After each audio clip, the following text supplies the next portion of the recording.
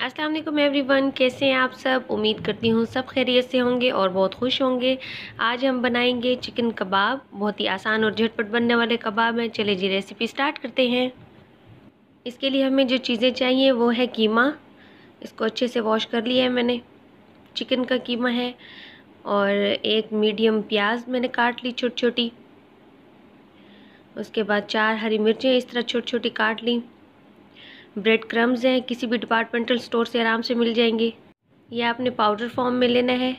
मसालों में नमक, लाल मिर्च, कुटी हुई लाल मिर्च, गरम मसाला, हल्दी, ज़ीरा पाउडर और कुटा हुआ धनिया।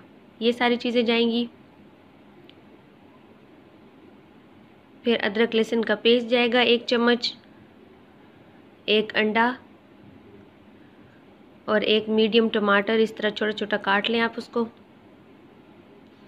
चीज़ें आप देख लें, बस यही चीज़ें चाहिए।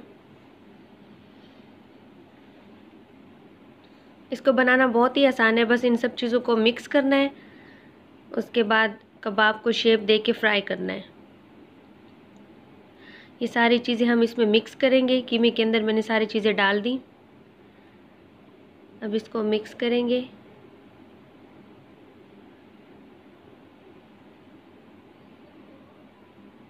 ये देखिए, ये सारी चीज़ें अच्छे से मिक्स हो गई हैं।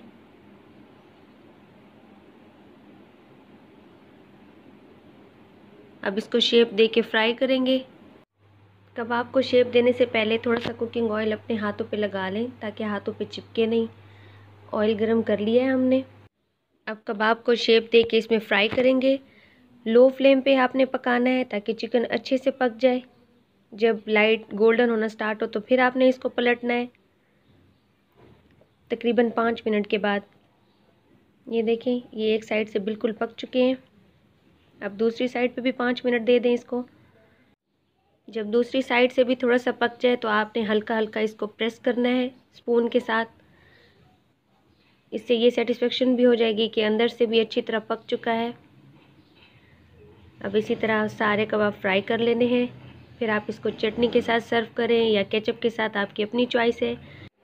मैं इनको ग्रीन चटनी के साथ सर्व करूँगी। ग्रीन चटनी मैंने ऐसे बनाई है कि ग्रीन चिलीज़, लहसुन, नमक और कुटा हुआ धनिया इनको ग्राइंड कर लिया है। फिर उसको हल्की सी योगर्ट में मिक्स करके ये चटनी हमारी तैयार है। स्पाइसी सी है थोड़ी, लेकिन कबाब के साथ बहुत मज़े की लगती है। आप भी ज़रूर ट्राई करें। रेसिपी पसंद आए तो लाइक और सब्सक्राइब ज़रूर करें। मिलते हैं इंशाल्लाह नेक्स्ट वीडियो में। तब तक के लिए अल्लाह हाफिज़। Bye bye.